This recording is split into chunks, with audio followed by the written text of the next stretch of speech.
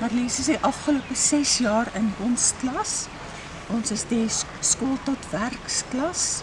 Ehm um, fase 2, skool toe werk ehm um, seniors en uh van die begin af het sy sommer dadelik uh, haar liefde vir haar maats en haar liefde vir mense het sommer dadelik uh, spontaan begin. Sy's altyd daar om iemand te help. Enige een sal sy graag bederf en uh, Marlies het eintlik 'n pragtige hart. En sy skryf diep diep in almal se harte.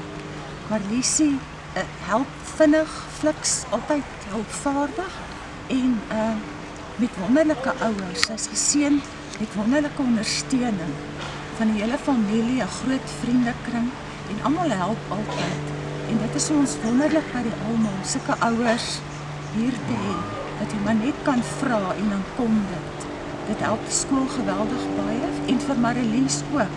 Sy het uh, haar selfbeeld het in die afgelope jare pragtig verbeter. Sy's 'n lieflike jong dame. As ek vat 6 jaar terug het sy gehardloop en gespring en gedans en geleide gemaak en nou is sy 'n spog dame. Sy hou van mooi klere, sy hou van mooi maak